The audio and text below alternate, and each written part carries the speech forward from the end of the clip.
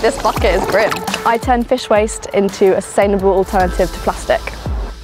This started off as my university project. I applied to the James Dyson Award and won £32,000 of funding, which meant that it's now become my full-time job. Do you want the skin in as well? Mmm, fish Do you want some gloves? Nah, that's all right. The project started working with waste. Obviously not the most traditional building product for a designer. People thought I was crazy because I was a designer doing something with fish. Good to see you, long time no see. Yeah, it's been a while. This is probably one day's wastage. I think even I was like pretty surprised that I chose fish waste. That's a trout bone, lace bones. That's Cornish. The guts aren't very cool. Yeah, the guts are gross, um, but like the skins are pretty cool. When you first hold it, that's as hard as I can pull. How like strong it is, and just like how like, absolutely flexible it is. Yeah. Like these are two of the main properties of plastic. So I then had fish waste as my main ingredient. I did pretty much all of my experiments in my kitchen. So I would use my mum's NutriBullet. Sorry, mum. She was unsure about uh, whether she'd ever get a non-fishy blender.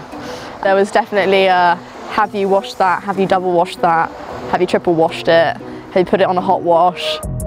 This is a red algae. It's nice and gooey. I'm the first to combine fish waste with algae. It's just wicked. I love it. You just smell it? yeah, it smells like sea. surprise, surprise. It smells like wet dog now. Charming. The fish scales hold the strength and then the agar is kind of the glue that sticks it all together.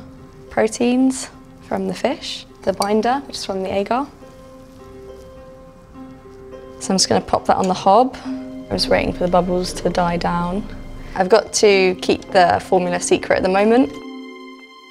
Now we're going to put it into the dehydrator, which will then take out the moisture. This is Marinatex in its finished form. It's kind of translucent and flexible. The texture of it is probably most like a plastic wallet that you put in a folder, but it can biodegrade. My passion for the environment definitely came from my love for the ocean and that was kind of cemented through diving. I love solving problems.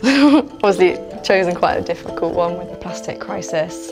The demand for alternatives that don't harm the planet has skyrocketed. I set up Marinatex on the 14th of February 2020, Valentine's Day. Um, that's the length I go to for company on Valentine's Day. This is a piece of Marinatex film in sandwich pack. And this is where I'd love to see the material being used in the future. The product that is, I would say, sassier than your average product because it's essentially chemistry. It's novel, it's new, it hasn't been done before. So what's the long-term plan? Long-term plan is to try and get Marinatex to the market.